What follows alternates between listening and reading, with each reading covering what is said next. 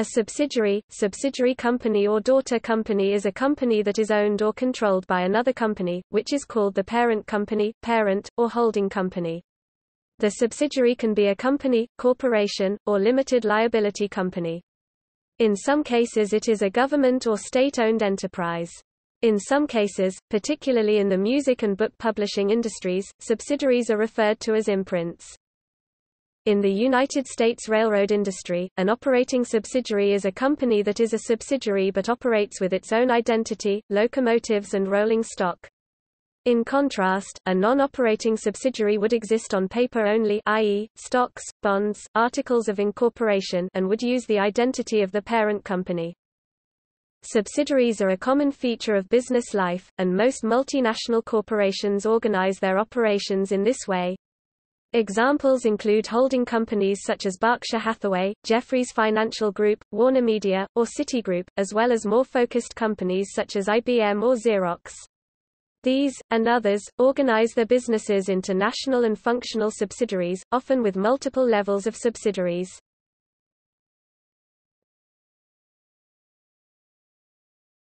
Topic. Details Subsidiaries are separate, distinct legal entities for the purposes of taxation, regulation and liability. For this reason, they differ from divisions, which are businesses fully integrated within the main company, and not legally or otherwise distinct from it. In other words, a subsidiary can sue and be sued separately from its parent and its obligations will not normally be the obligations of its parent. However, creditors of an insolvent subsidiary may be able to obtain a judgment against the parent if they can pierce the corporate veil and prove that the parent and subsidiary are mere alter egos of one another, therefore any copyrights, trademarks, and patents remain with the subsidiary until the parent shuts down the subsidiary. One of the ways of controlling a subsidiary is achieved is through the ownership of shares in the subsidiary by the parent. These shares give the parent the necessary votes to determine the composition of the board of the subsidiary, and so exercise control. This gives rise to the common presumption that 50% plus one share is enough to create a subsidiary. There are, however, other ways that control can come about, and the exact rules both as to what control is needed, and how it is achieved, can be complex see below. A subsidiary may itself have subsidiaries, and these, in turn, may have subsidiaries of their own. A parent and all its subsidiaries together are called a corporate group, although this term can also apply to cooperating companies and their subsidiaries with varying degrees of shared ownership. A parent company does not have to be the larger or more powerful entity, it is possible for the parent company to be smaller than a subsidiary, such as Danjaq, a closely held family company, which controls Eon Productions, the large corporation which manages the James Bond franchise. Conversely, the parent may be larger than some or all of its subsidiaries if it has more than one, as the relationship is defined by control of ownership shares, not the number of employees. The parent and the subsidiary do not necessarily have to operate in the same locations or operate the same businesses. Not only is it possible that they could conceivably be competitors in the marketplace, but such arrangements happen frequently at the end of a hostile takeover or voluntary merger. Also, because a parent company and a subsidiary are separate entities, it is entirely possible for one of them to be involved in legal proceedings, bankruptcy, tax delinquency, indictment or under investigation while the other is not.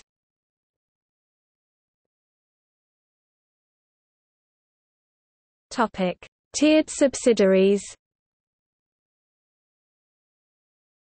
In descriptions of larger corporate structures, the terms first-tier subsidiary, second-tier subsidiary, third-tier subsidiary, etc. are often used to describe multiple levels of subsidiaries.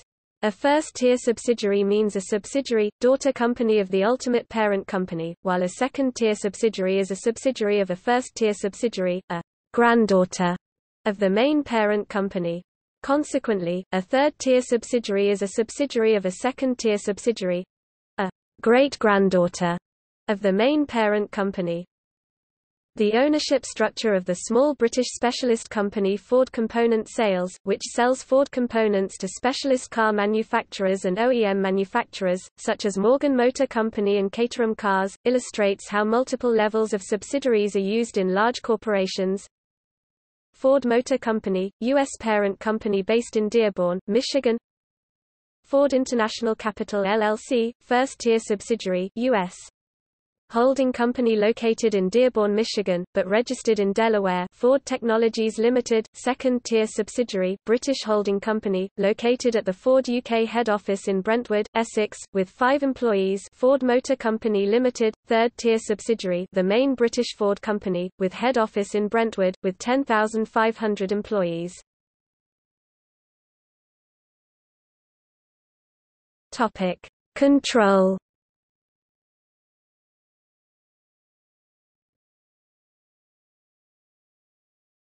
Topic: General. The word control and its derivatives subsidiary and parent may have different meanings in different contexts.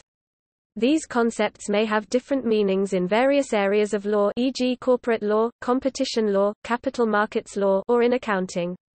E.g., while Company A may not be required to undergo merger control when purchasing shares in Company B because it is deemed to already control it under competition law rules, the same Company A may be required to start consolidating Company B into its financial statements under the relevant accounting rules because it had been treated as a joint venture. Control can be direct e.g., an ultimate parent company controls the first-tier subsidiary directly or indirect e.g., an ultimate parent company controls second and lower tiers of subsidiaries indirectly, through first-tier subsidiaries.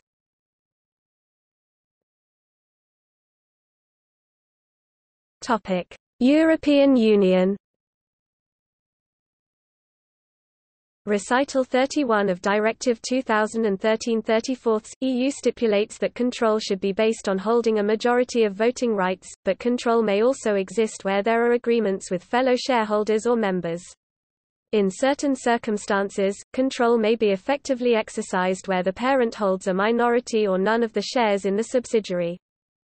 According to Article 21 of the Directive 2013-34, EU an undertaking is a parent if it has a majority of the shareholders or members voting rights in another undertaking a subsidiary undertaking has the right to appoint or remove a majority of the members of the administrative, management or supervisory body of another undertaking a subsidiary undertaking and is at the same time a shareholder in or member of that undertaking has the right to exercise a dominant influence over an undertaking a subsidiary undertaking of which it is a shareholder or member, pursuant to a contract entered into with that undertaking or to a provision in its memorandum or articles of association, where the law governing that subsidiary undertaking permits its being subject to such contracts or provisions, is a shareholder in or member of an undertaking, and a majority of the members of the administrative, management or supervisory bodies of that undertaking a subsidiary undertaking who have held office during the financial year, during the preceding financial year and up to the time when the consolidated financial statements are drawn up, have been appointed solely as a result of the exercise of its voting rights, or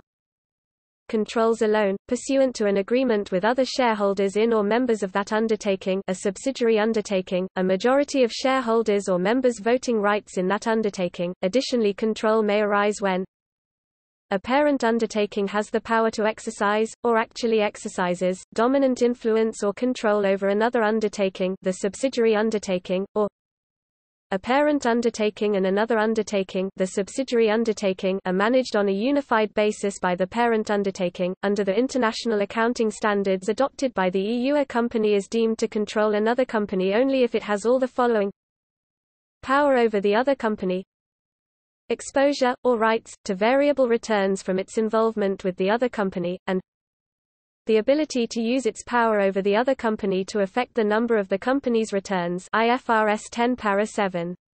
Power generally arises when the parent has rights that give it the ability to direct the relevant activities, i.e. the activities that significantly affect the other subsidiary's returns. A subsidiary can have only one parent, otherwise, the subsidiary is, in fact, a joint arrangement joint operation or joint venture over which two or more parties have joint control IFRS 11 para 4.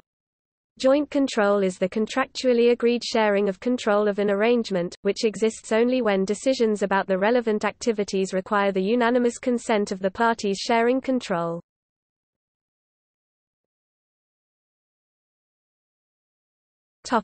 United Kingdom The Companies Act 2006 contains two definitions, one of subsidiary and the other subsidiary undertaking.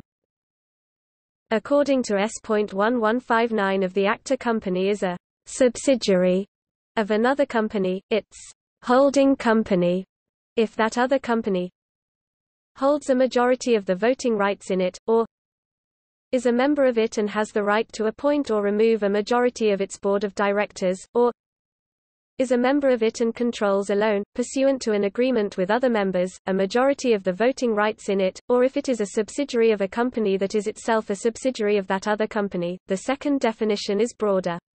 According to S.1162 of the Companies Act 2006, an undertaking is a parent undertaking in relation to another undertaking, a subsidiary undertaking, if it holds a majority of the voting rights in the undertaking, or it is a member of the undertaking and has the right to appoint or remove a majority of its board of directors, or it has the right to exercise a dominant influence over the undertaking by virtue of provisions contained in the undertaking's articles, or by virtue of a control contract, or it is a member of the undertaking and controls alone, pursuant to an agreement with other shareholders or members, a majority of the voting rights in the undertaking. An undertaking is also a parent undertaking in relation to another undertaking, a subsidiary undertaking, if it has the power to exercise, or actually exercises, dominant influence or control over it, or it and the subsidiary undertaking are managed on a unified basis. The broader definition of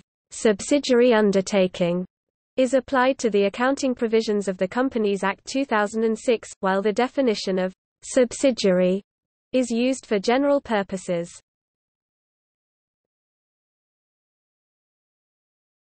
Topic: Oceania In Oceania, the accounting standards defined the circumstances in which one entity controls another. In doing so, they largely abandoned the legal control concepts in favor of a definition that provides that control is the capacity of an entity to dominate decision-making, directly or indirectly, in relation to the financial and operating policies of another entity so as to enable that other entity to operate with it in pursuing the objectives of the controlling entity. This definition was adapted in the Australian Corporations Act 2001, S50AA. And also it can be a very useful part of the company that allows every head of the company to apply new projects and latest rules.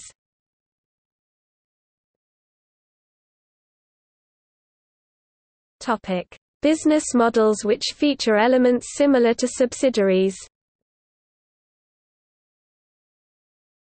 Chaebol Conglomerate. Keiretsu Zaibatsu. See also